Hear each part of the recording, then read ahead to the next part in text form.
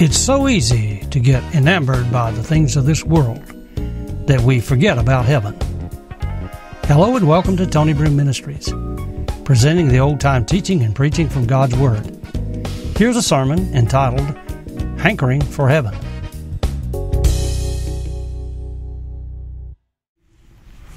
Brother Dwight L. Moody said, Lord, if you don't stop blessing me, I don't know what I'm going to do. You're just going to have to Hold back your hand.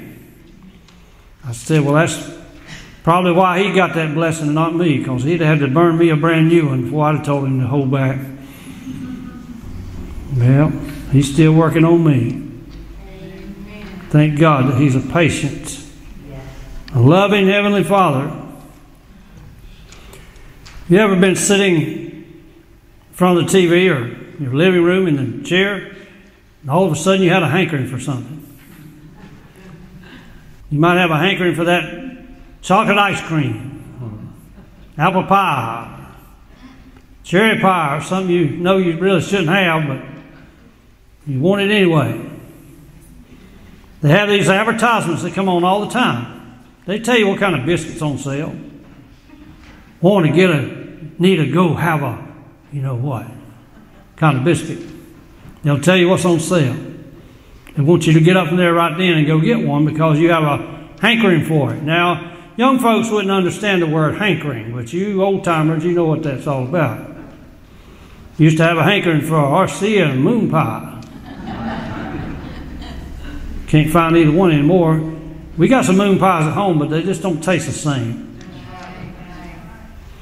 Maybe it's because my taster's done had 50 years plus of tasting moon pies. They just don't taste the same hankering, a strong desire or longing for something.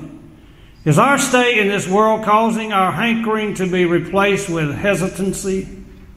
There was a time when we had a strong hankering, a desire, a longing for heaven. But it's because of this world that we're living in, is that being replaced with hesitancy? Are we more hesitant now about going to heaven than we used to be? We used to have a longing. We used to have a hankering, a desire to go to heaven. In Philippians chapter 1, starting in verse 21, the Apostle Paul says, For to me to live is Christ, and to die is gain. We have it made either way. For me, to live is Christ, and to die is gain. He could not lose. You cannot lose with the stuff I use. He could not lose either way. We have it made either way. If we stay here, we're blessed. If we leave and go with the Lord, we're more blessed. But if I live in the flesh, this is the fruit of my labor. In other words, I'm just getting what's coming to me in the natural. If I live in the flesh and my life is all about the flesh and my career and my family and my kids and my grandkids and what kind of inheritance I have and what kind of money I have and what kind of car I have, what kind of house I have, what kind of goods I have laid up. If that's all it's all about, then that's the fruit of my labor. Yet what I shall choose, I wot not. In other words, I don't know which to choose. To live is Christ. If you live for Him as Christ, it's good, and even to die is gain. But I really don't know which one to choose. I have a pulling in both ways. I am in a strait. David said he was in a strait one time, didn't he? He choose which one of these things I'm going to do to you. You want the sword of your enemies, you want the pestilence of the Lord. He gave him three choices. He just said, I don't know what to do. I'm in a great strait. The apostle here said, I'm in a strait betwixt two having a desire to depart and to be with Christ, which is far better. That is the best. We would say that's the bestest. To depart and to be with Christ is far better. Now, that statement I just made, to depart and to be with Christ is far better. Now, we hear that and we assent that we accept it as true, but if you don't really believe that, there's a problem that needs to be fixed with the screwdriver out of your spiritual toolbox. If you don't believe that to depart and to be with Christ is far better, then there's a problem. If this world has so much magnetism, and the Holy Spirit in prayer last evening, Pastor Ronnie can bear me witness of this. He bore witness, two or three of us, as we prayed that the magnetism of this world would be taken off for the people that are so strongly drawn to this world. And it draws them so tightly that, as the sister said this morning, they know what they ought to do. They know that they ought to give their life to the Lord, but the magnetism of this world is drawing them so tightly that they can't hardly get away from it. To depart and be with Christ is far better. I can tell you without any reservation, brothers and sisters, that to depart and be with Christ is far better than this trash can that we're living in. It's far better than what's going on on Capitol Hill. It's far better than what's going on at the joke to the southern border. It's far better than the wars that's going on in Ukraine and across the world. To depart and be with Christ is far better than this junk that's going on down here. I have a desire to depart and to be with Christ, which is far better. But, nevertheless, to abide in the flesh is more needful for you. Those are the two things that he was faced with. The one that he knew which was best, to depart and be with Christ. And all our troubles, all our trials will then be over. That's the best. But to abide in the flesh, he said, is more needful for you. And having this confidence, I know that I shall abide and continue with you all for your furtherance of joy of faith. Having this confidence, I don't chase rabbits, but I do camp out on that word just a little bit. Having this confidence. We need confidence to be able to say for sure that Jesus Christ is my Savior and my Lord. Not just because a preacher said so, not just because somebody told me that I got sanctified. Yeah, but what do you say about it? Do you believe you got sanctified? Do you believe you got saved? Do you believe you got the baptism of the Spirit?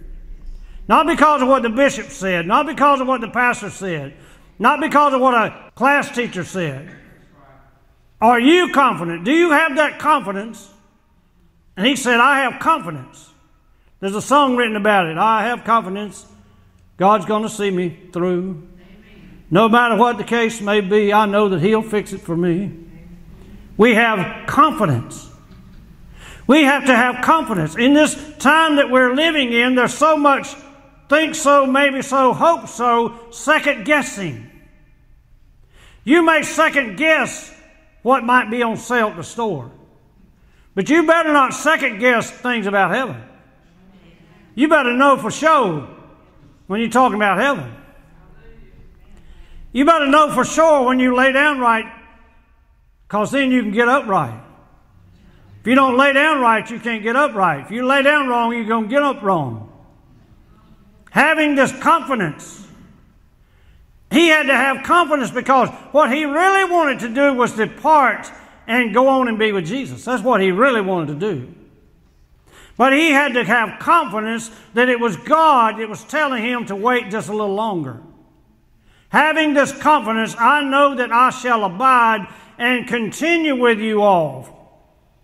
Paul was a southerner, you all. To continue with you all for your furtherance of joy and faith that your rejoicing may be more abundant in Jesus Christ for me by my coming to you again. I have this confidence that I will abide with you.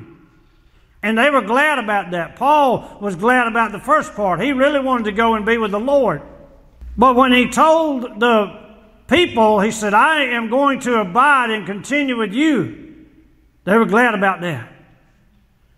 By my faith and by my rejoicing, you have a continuance and furtherance of your joy and faith, that your rejoicing may be more abundant in Jesus Christ for me by my coming to you again. All they were concerned about is when's he coming? When's he coming? When's he coming? It's like your five year old grandkid. Are we there yet? Are we there yet? Are we there yet? They were just concerned about when is he coming back. Some of them thought Jimmy Mack, he ain't never coming back. But Paul said, I am coming back. God has assured me that I will stay and abide with you so that you can be helped. Paul was willing to stay here if that would help the body of Christ. This thing about heaven, having a hankering for heaven, he had a strong hankering for heaven. He wanted to go, but he was willing to stay if that would help the body of Christ. You talking about sacrifice. You talking about total commitment. I don't know if you've thought about this lately or not, but the Apostle Paul, he was modest. He didn't call his own name, but he was talking about himself in 2 Corinthians chapter 12. And he says that he, this certain man, he was talking about himself, was caught up to the third heaven where he saw things and he heard words that were unlawful to utter, so holy so outstanding. He said, I would tell you about it, but I can't. I'm not allowed to tell the things that happened. I'm not allowed to tell the things that I saw. It's amazing how these people write these books about these out of body experiences, and the first thing they do when they get out, they want to, when they come back, so called come back, they want to write a book and see how many copies they can sell.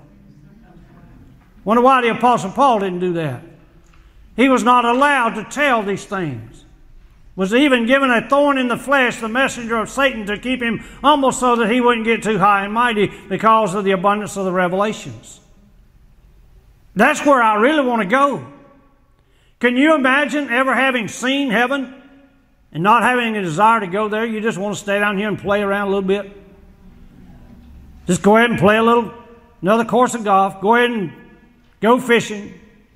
Go ahead and go to Roses and see what's on sale. Fooey dooey on all that. He had seen the third heaven where God was. He didn't care about this stuff anymore. The treasure that is laid up in this world. Jesus said in Matthew 6 19, Lay not up for yourselves treasures upon earth, where moth and rust doth corrupt, and where thieves break through and steal. But lay up for yourselves treasures in heaven, where neither moth nor rust doth corrupt, and where thieves do not break through nor steal. The only big problem, one big problem about having earthly treasure is you're always worried about it. There's something always can happen to it. Either it gets old and tarnished and something happens to it and decay. You have to go through money and you have to go through all these things to keep it up. Or either it can be stolen and taken away from you. Did you see the big diamond that they found? This huge, gigantic diamond that they found I forget how many carats the thing was.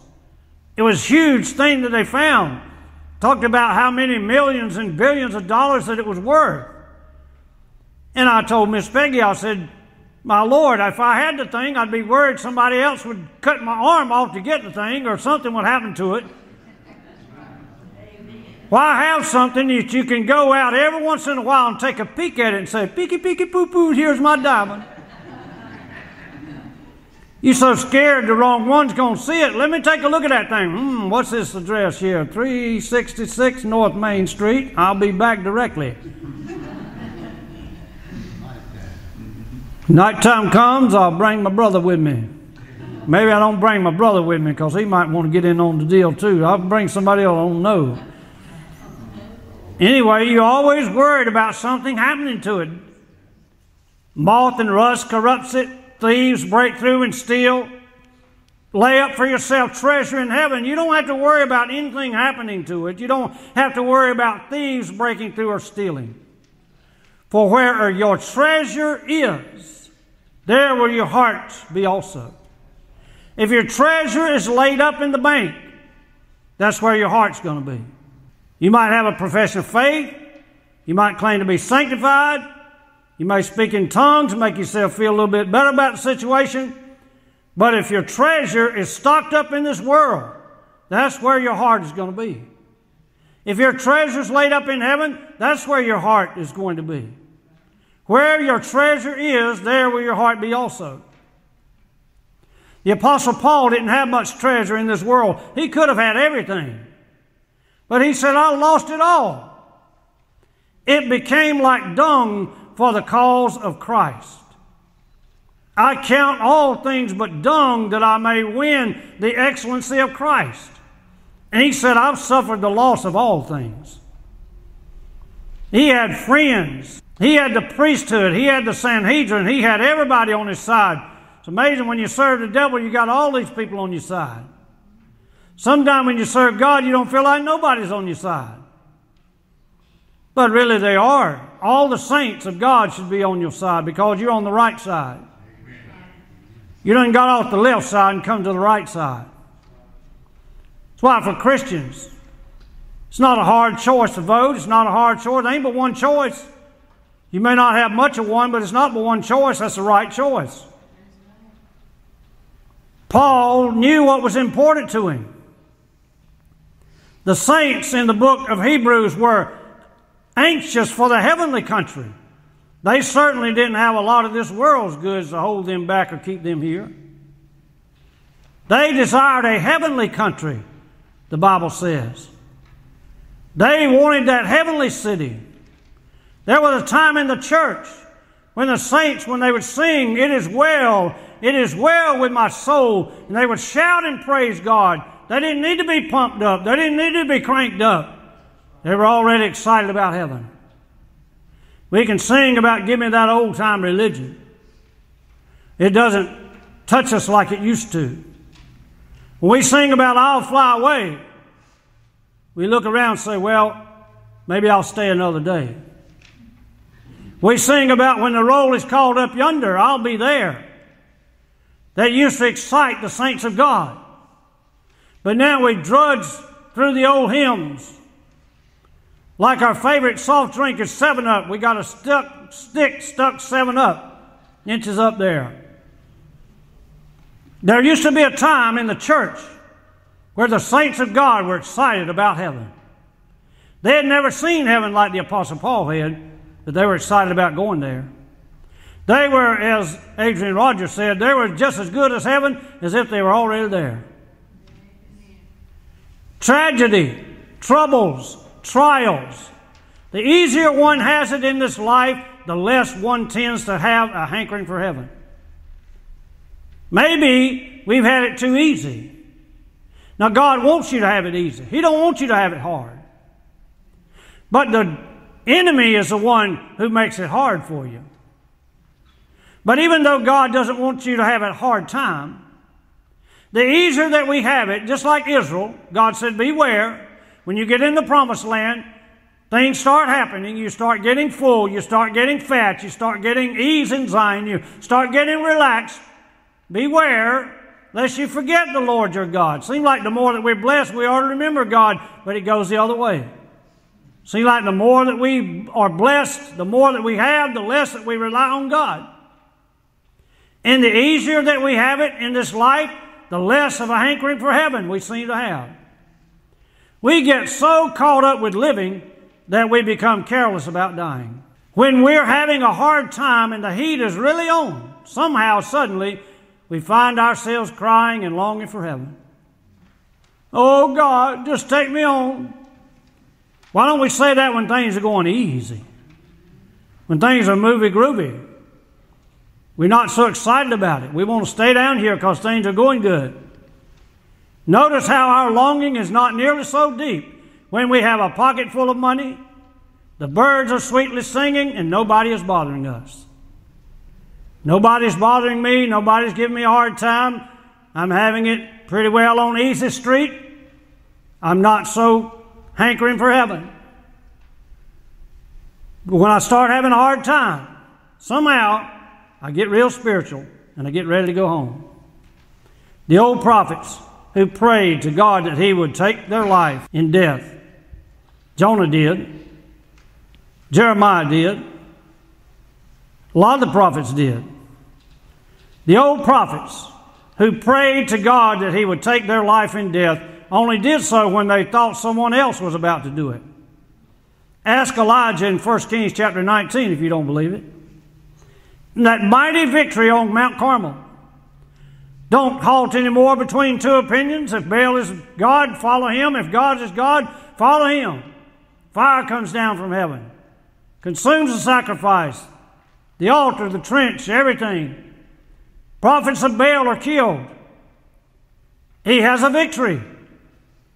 Then one little old bony woman gets a hold to it, and she said, Let the gods do so to me if I make not your life like one of them by tomorrow this time. And he runs and flees for his life. And he says, It's enough, Lord. You can just take away my life now. Why didn't he do that on the victory of Mount Carmel? Why did he wait and run from just one little old woman? Then he wanted God to take him on. Truth. Are we as excited about seeing Jesus and our loved ones as we might be about a big tax refund? What about a little tax refund? I don't know if they're sending it all to Kuwait. I don't know if they're sending it all to Ukraine. I don't know what they're doing. Ain't nobody got none yet, far as I know. They're keeping it. Maybe they're printing money at night and need to cover it with it. I don't know what's happening. Free food or a senior discount. I got some free food. I got a senior discount. I saved 25 cents. Can you believe it? Senior discount. I burned that $15 worth of gas to go across town to get that 15 cent discount. Lord help my sanctified soul. We're going to be excited about some frivolous thing like that. Yet we're not excited about going to heaven? The latest, greatest fashion item, including that Hoochie Goochie pocketbook, or that package on our doorstep. I got that order. Been expecting it a long time. Had to pay $17.50 to get it shipped to me, but I'm still excited about it. That package that comes our doorstep. You open it up, plug it in, don't even work. You ain't got to be bothered about how to get it back. That vacation getaway. V A C A T I O N in the summertime. Everybody needs a little getaway, but are we excited? What about that big vacation? When you get away and ain't never coming back. Woo! That's something to be excited about. When you have a vacation on this world, I never thought about it since I became an adult, I do. We used to go to the beach. Wait, time out. Pentecostals, coast. Okay. Coast. We used to go to the coast and take a towel and lay it on the sand. I know. Mm, cuckoo. Lay the towel on the sand and lay down on top of the towel on the sand don't you get no dirt on me. Ain't nothing but around with 50, 100 miles but dirt. Sand. And we're going to be excited about that. What about that? I can't wait to visit with the children or grandkids. Boy, I can't wait till they get here. Boy, I can't wait till they go home. Are we as excited about seeing Jesus and our loved ones? Dull, I didn't say duh, I knew, duh. I said dull. We get dull sometimes. I told Brother Vernie this morning, we are trying to hit some of them keys. I said, man, these things are stiff as a board this morning. Maybe it's me. Maybe I'm getting stiff as a board. I don't know. But I thought about it in this message about heaven. Are our keys to getting ready to heaven, they done got stiff on us? Do they need to be played and jangled a little bit? We are told the truth about heaven in Revelation chapters 21 and 22. It's a beautiful four square city with walls of jasper, gates of pearl, and streets of gold. I was thinking about it this morning, lying in the bed before I even got up. I was thinking about this message, and me and the Lord came to this conclusion that I know more about heaven I've never been there, I've never seen it like the Apostle Paul did before time. Never been there. I've never seen it, but I know more about heaven than I do about the place, and we've been living in the same place for over 28 years. Now, I can get around my place quite well, and I know where things are. But I don't know the dimensions of my place. But I do know the dimensions of heaven. I don't know all the materials that my place is made of, but I know what heaven is made of. We are even given the dimensions of the heavenly New Jerusalem and are told of what materials it is made with. We're told about the wall. We're told about the stones. We're told about the foundations. We're told about the streets, as I said, streets of gold, walls of jasper, gates of pearl. We are described in that heavenly city where we're going. And yet we act like we don't know anything about it. Therefore, we're not excited about it. We are told about the throne of God. This fantastic throne, there's no other like it in the whole universe. From this throne, he rules in power and glory even now, even though his kingdom, the fruition of it, hasn't been set in yet. He still is in control. He rules. The psalmist said he rules heaven and earth from his throne. Holiness is the habitation of your throne, the habitation of your house forever.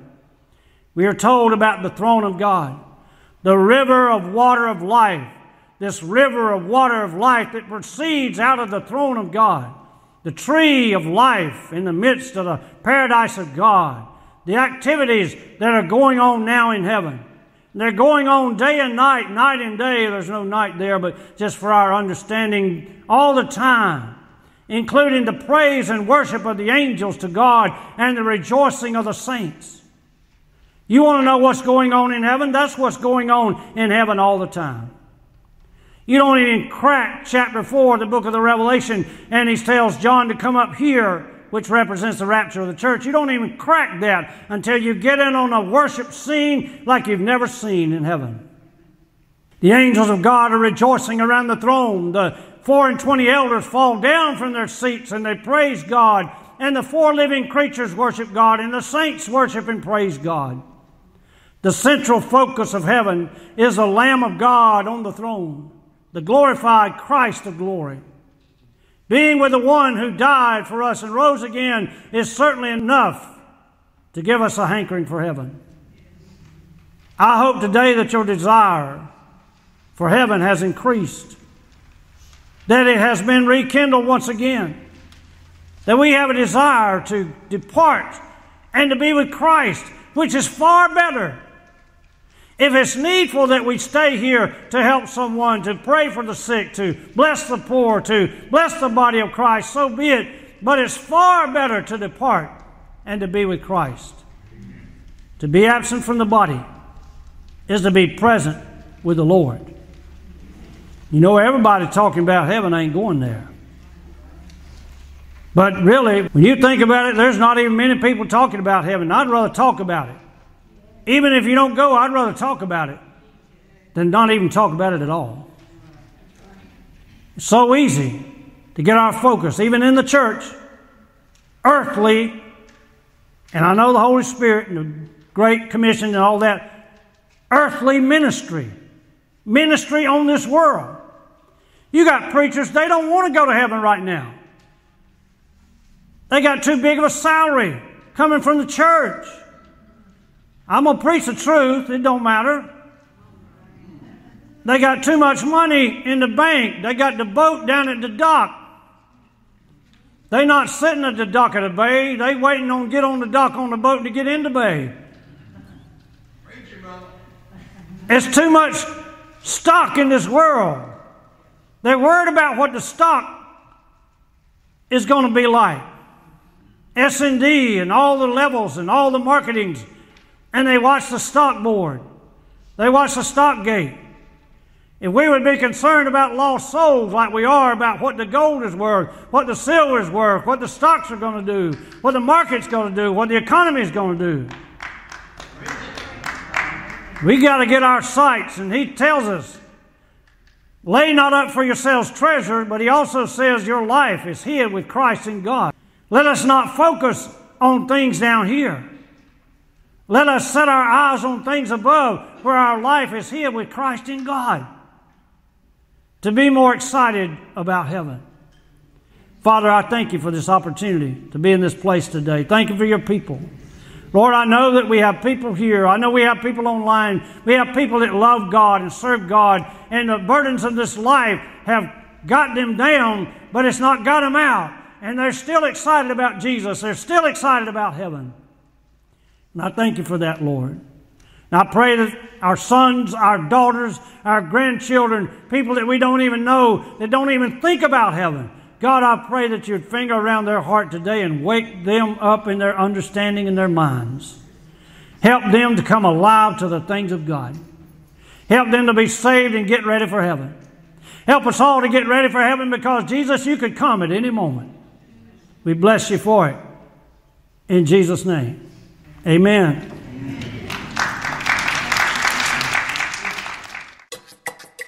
This has been the old time preaching from God's Word, a sermon entitled Hankering for Heaven. Make sure that Jesus Christ is your Savior and you know Him as your Lord today. This has been a production of Tony Broome Ministries.